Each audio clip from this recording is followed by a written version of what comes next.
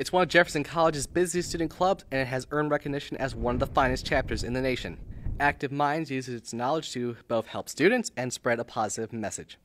Active Minds is a nonprofit student mental health organization on campuses across the country that helps promote spreading awareness and having a dialogue about mental health issues.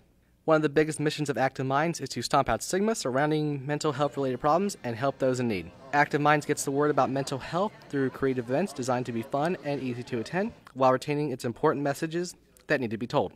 Events such as the yearly zombie apocalypse to promote planning for disaster, and Operation Beautiful, which aims for people to stop seeing themselves as what someone else wishes them to be and instead be themselves. With all its hard work to promote these positive messages, it should be no surprise that the national organization has recognized the Jefferson College Active Minds chapter as a five star chapter. Club advisor Sandy Davis explains how the Jefferson College chapter earned such an honor. There's a criteria that Active Minds has for chapters to reach the five star. Um, we have to have programming um, that is appropriate to um, our campus. We have to have at least two of the national um, activities here on campus, and we do all of them. Um, we did the Veterans Day observance. We provided uh, the Stomp Out Stigma. We do uh, Operation Beautiful. Active Minds Public Relations and Recruitment Officer Will Roman explains how Active Minds works to continue the success the chapter has produced. Well, we just stay involved. We stay involved with the students. We stay involved and in, in touch with our students so that our students never feel alone. Because no matter where you go, even if you're in your bedroom with the door locked and you're all by yourself, you're never alone. There's always somebody there that you can reach out to for help. Having Davis as an advisor for the chapter has allowed COMTREA, the counseling service on campus, to become a very important part of Active Minds. Well, COMTREA provides the counselor here, that's me. Um, and so they're, they're very supportive as far as um, allowing us to do activities. Um, they allow me to be part of it.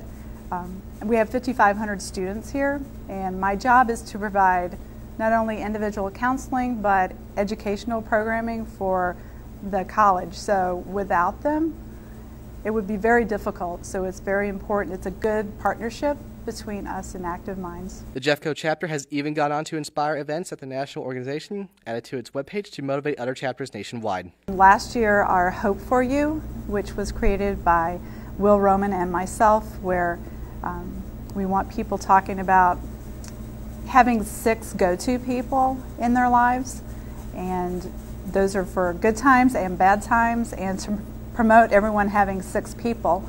With the chapter's success, Jeffco's Active Minds was honored to have one of their own travel to Washington, D.C. in March to serve on the National Student Advisory Committee. The conference featured orientation, training, officer elections, and becoming the models for the Active Minds flyers around the country, while also being able to plan the November conference and programming for the next year. Active Minds Vice President Elizabeth Wiley was one of the fortunate 15 to get the call to Washington. Well, I went to DC um, for a conference for Active Minds a couple months ago, and I really enjoyed it but this is a very high honor to be chosen for the National Student Advisory Committee. So I, I feel honored. I, I really do. Um, and I can't wait to use the knowledge that I learned through the Student Advisory Committee and uh, use that for Jefferson College's Active Minds chapter. With Active Minds' most important event, Take Back the Night, coming up, Jefferson College's chapter hopes to continue to flourish and retain its five star honor and continue to be one of the college's most significant clubs. Active Minds was the first club I joined, and it's also kind of my favorite because there's a family like atmosphere with Active Minds that you won't find in other clubs, and it's a support system. And I think the work that we do is extremely important, especially for college students. And uh, if you want to make a difference, then be a part of Active Minds. Well, Active Minds is more than a club.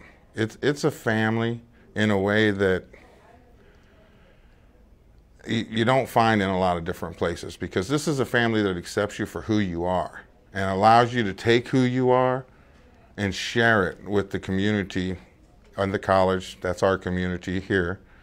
But we just we just go out we try to have some fun we try to get the message out there that if anybody needs anything we're right here we're available we are here for you and we can help There are no dues to join Active Minds, and club advisors and officers are more than willing to help those in need while allowing anyone to join to help in ending stigma and speaking up about mental health issues. For JCTV, I'm Peter Lewis.